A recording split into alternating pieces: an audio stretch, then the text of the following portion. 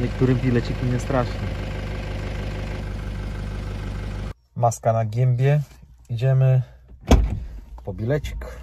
To, co mi się w Gdańsku podoba już od kilkunastu lat, to to, że takie rudery są po prostu rewitalizowane. Oczywiście wiąże się to często z sprzedażą takich kamienic w obce ręce o, i przestają być własnością miasta. Może nawet tam nie w pełni, a po części. E, No ale przynajmniej jakoś to miasto odzyskuje swój wigor. Tak właśnie się Wam pochwalę tym, że już sobie powoli składam pewne elementy busa. Pasy zainstalowane, listwy wykończeniowe podobnie, tak samo z drugiej strony. Yy, o, tak to powinno wyglądać. Cyk. No i teraz yy, chcę troszeczkę tutaj poogarniać. Już jeden worek 120 litrów wywaliłem śmieci, które pozostały po tych wcześniejszych etapach remontu. E, Teraz yy, chyba zacznę demontować podłogę. Walnę sobie na podłogę matę izolującą pod nowe panele. Tak, w sumie. A, A no i chyba zrobię odcinek, jak oklejam mm, te skrzynie filcykiem, bo ktoś mnie o to prosił. Yy, Zresztą parę osób się odzywało z pytaniem, czy ten filc yy, elastyczny, który stosowałem tutaj na ramy okienne, czy on się będzie kwalifikować na skrzynię. Ja tak odradzałem, no bo to jest duże ryzyko, że będzie się brudzić w tym miejscu ten materiał, a raczej taki filcyk ciężej się odkurza chociażby. E, No ale w ramach powiedzmy edukacji, tak, by zrozumieć, czy ten filc e, zda jakiś egzamin, zakupiłem ciemniejszy filc. To jest kolor antracyt. Tak to wygląda. Mm, No i myślę, żeby właśnie wziąć i go e, tutaj dzisiaj jeszcze pomęczyć i żeby go zainstalować. O, i zrobić z tego odcinek techniczny, jeden krótki, byście mieli po prostu odpowiedź na swoje pytanie, czy, czy jest sens, czy, czy to się w ogóle opłaca, czy no tak, ale zanim ten filc zainstaluję, to wypadałoby te prowadnice też troszeczkę ogarnąć, bo są w kiepskim stanie. A w ogóle też chcę ten filc dać do tych skrzyń tutaj, do wnętrza. No zobaczymy, no w każdym razie, no jak wstawię tam akumulator nowy, jak on sobie będzie stać na tym filcu, no to przynajmniej się nie będzie tak przesuwać, nie będzie latać. Oczywiście będzie przykręcony, no ale to zawsze jest troszeczkę mm, inaczej, ciszej, spokojniej tam. Nawet jakbym chciał coś jeszcze tam sobie wrzucić, jakiś klucz czy coś, żeby zawsze był przy akumulatorze do wymontowania, mm, to mi nie będzie dzwonić. A zresztą kupiłem parę metrów tego filcu, mm, więc wykorzystam go po prostu, żeby mi później nie leżał i zacząć ogarniać lusterka, drabinkę, te skrzynie, ten filcyk, pomyśleć o tym, żeby boczki porobić. Mm, Przede wszystkim ten, który tutaj ma iść za szafkami.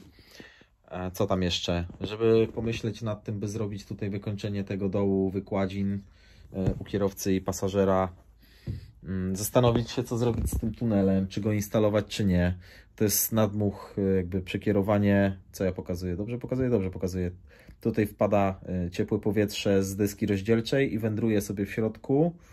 I później wy. Ciężko mi, bo wszystko jest w odbiciu lustrzanym. I później sobie wędruje tam na dół. I ten, ten tamten na dół, to znaczy tutaj jest tamto miejsce. I wydmuchuje sobie ciepłe powietrze na e, tył busa. No też ciekawa opcja. Też warto się nad tym zastanowić. Słuchajcie, no tak to na ten moment wygląda. No roboty jest dużo. Ja jestem dzisiaj taki jakiś, nie wiem, przymulony. Jak tutaj przyjechałem, parę rzeczy zrobiłem. E, jeszcze robiłem zamykanie tych drzwi, sobie wszystko dogrywałem. W mojej ocenie teraz już to chodzi jak trzeba, tylko jeszcze drzwi nie są przesmarowane.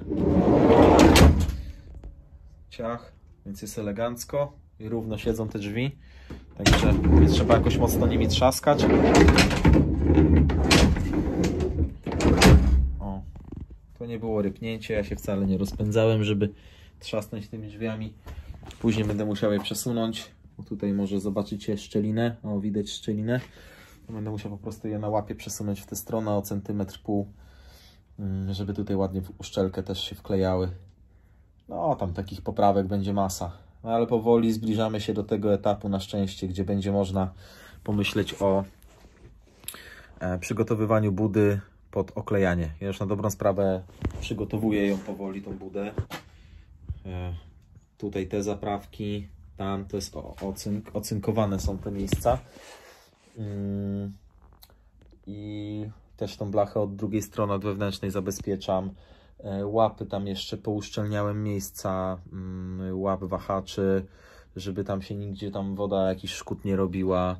E, przygotowałem sobie ten błotnik pod instalację nadkola plastikowego, bo gdzieś miałem połamane akurat chyba to coś tam się wydarzyło i, i później jeździłem bez nadkola. Pozabezpieczałem sobie miejsca jakieś, gdzie e, są narażone na, na, na nasypanie błotem, więc zdarłem błotko. E, zdarłem błotko, wyczyściłem to, odtłuściłem, zabezpieczyłem. Mm, czekam na baranek w sprayu, bo jeszcze chcę na te wszystkie warstwy, co, co położyłem tych różnych preparatów, to po prostu dać ten baranek. Sam baranek nie robi roboty, jak się daje go na, na podwozie, natomiast jeśli to ma być taka powłoka pierwszego kontaktu, to jak najbardziej jest to w porządku. Mm, w niektórych miejscach chcę zastosować e, taśmę butylową z powłoką aluminiową. Ją się bardzo fajnie formuje mm, pod wpływem temperatury zapalarki albo spalnika gazowego, takiego ręcznego kartusze. I ona bardzo fajnie wypełnia różne połączenia, gdzie no jest ryzyko, że się będzie błoto magazynować, więc niech ono się magazynuje to błoto na folii tej butylowej, alubutylowej, e, a nie bezpośrednio na blaszy, która jest zabezpieczona tym mm, jakimś tam maziajstwem. Bo tak, tak się zaczynają później zwykle problemy z łączeniami blach. Kolejne zakupy. Co my tutaj mamy? Mamy tutaj a, baranki na pewno, czarne. Mamy tutaj y, dwie puszki wosku albo jedną puszkę wosku, bo jeszcze chcę dolać trochę do podłużnic. Mamy tutaj jeden lakier bezbarwny, matowy. I dalej nie pamiętam. Zobaczymy, co tu jeszcze jest. Ta płyta jest do wymiany. Tylko kurczę, markety pozamykane. Tak bym pojechał, kupił i wrócił. Zobaczmy co się dzieje pod spodem. Czy będzie grzybownia, czy nie.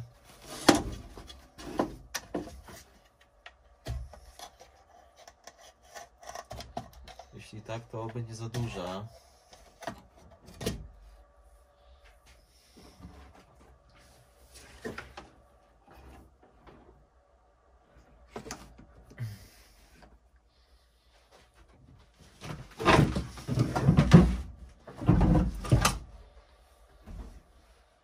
Mhm, ale wali kiblem.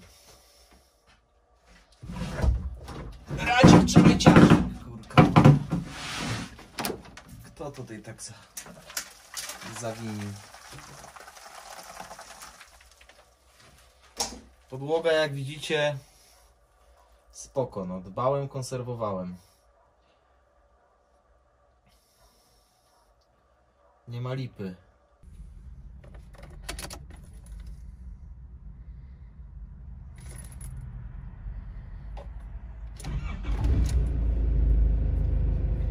No to zobaczymy, czy na tej ilości paliwa uda mi się dojechać do Wilczego Szańca i z powrotem. Wyzeruję, to jest ten od zerowania. Nie, ten. A jak? No dobra, ruszamy. Cześć dobrzy ludzie. Piotrek z tej strony. Na szczęście w podróży, może nie jakiejś ogólnokrajowej, nie jakiś trip kilkutygodniowy, ale wyjazd do Wilczego Szańca. Dzięki weekly vlogom możecie dostrzec, jak często tam jeżdżę. Często jeżdżę ja, często jeździ Krzysiu. I poza takimi, wiadomo, profilaktycznymi, że tak powiem, tak się wyrażę, e, poszukiwaniami, załatwiamy różne sprawy w Wilczym Szańcu, bo tam się o wiele więcej dzieje, o czym się przekonać mogą osoby, które przyjeżdżają do Wilczego Szańca. Tutaj akurat opowiadać za dużo, co nie ma sensu. Trzeba przyjechać, zobaczyć i poczuć to i zrozumieć, że działania Nadleśnictwa Srokowo i Fundacji Latebra jako partnerów e, Wilczym Szańcu owocuje nie tylko poszukiwaniami i akcjami, które oglądacie na YouTubie, ale też e, jakimiś tam innymi wydarzeniami chociażby. Dlatego właśnie teraz jadę spotkać się z Sebastianem i spotkać się z Pawłem. Pawła poznacie. Mm, Pilotujcie odcinki na drugim kanale. Eee, z Pawłem, z którym e, będziemy knuć bardzo fajną rzecz. Mega fajną rzecz. No ale żeby wiedzieć o co chodzi, trzeba śledzić losy kanału, także e, bądźcie czujni, bo na kanale się będzie troszeczkę ciekawych rzeczy pojawiać. Chętnie się z Wami podzielimy e, ostatnimi y, pomysłami i ostatnimi inspiracjami do zrealizowania. Czy to wszystko dojdzie do skutku? No raczej tak. Pytanie w jakiej formie. A co to za rzeczy tu stoją? A, mała ekspozycja jakaś. Mały making of. Czyli jak się robi ujęcia do filmiku, który później zobaczycie. Jest kamerka na masce. Niestety nie mam magnetycznej żadnej łapki.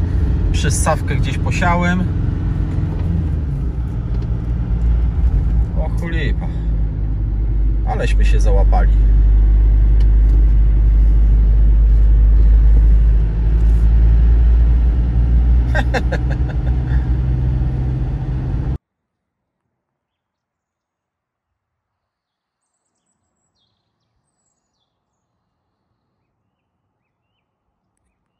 Pozostało 35-40 km do domu. Czy dam radę na tej ilości paliwa? Oj, to może być cud nad Wisłą. Pamiętacie, jak Wam mówiłem o tym? Rzucaniu się pod tory, czy przypadkowe wloty pod tory, pod te pod, pod, pod pociągi? To to jest właśnie teraz kolejna akcja z tego cyklu.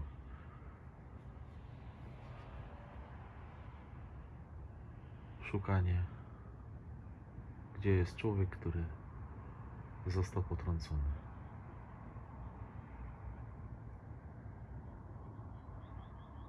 I teraz weź człowieku, wykonaj tą pracę. Współczuję.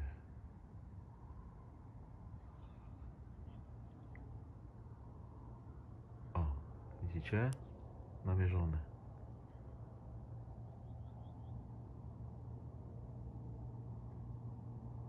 Ale się złożyło akurat, że jest tu świecą na niego.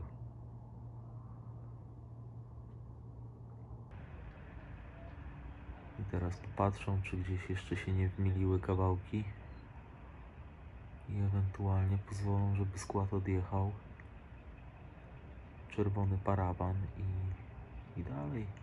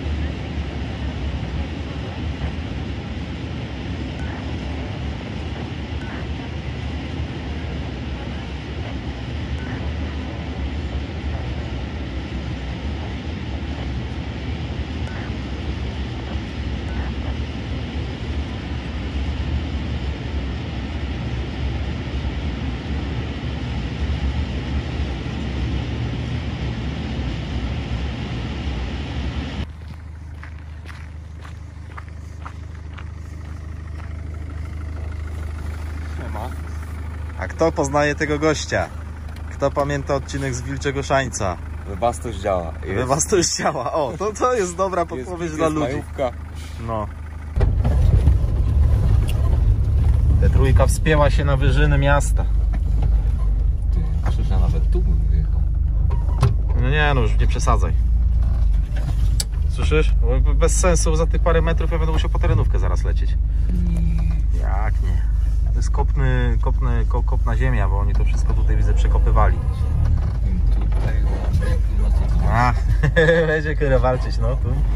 Muszę przyznać, że będzie dziura przed nami. Co ten te trójką? Co ten te trójką robi?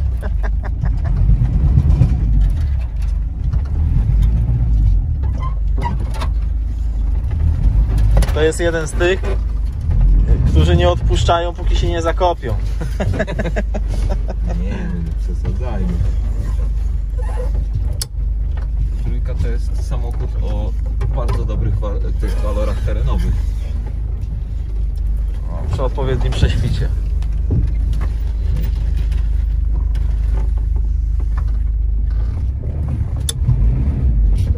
To jest świeże wszystko. No to tak jak mówię, no to jest świeżo kopane. Widać.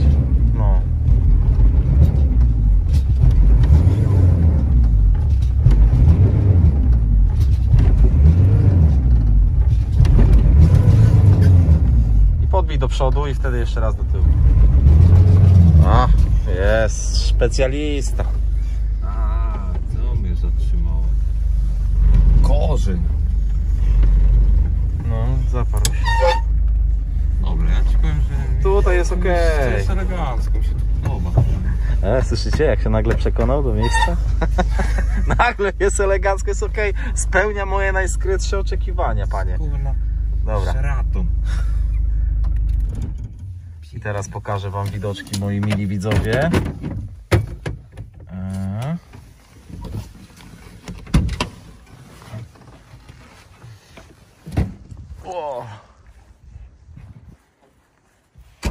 Wjechaliśmy na Wyżyny Gdańskie, skąd jest bardzo ładny widok. To są takie moje miejscówki, w których nie raz, nie dwa spędzałem czas. I widzę, że one się już wyprzedają tutaj. Te miejscówki wcześniej to były gołe polany, a już teraz tutaj znaki, teren prywatny, cuda na kiju. Także się pozmieniało. Ale tak to wygląda.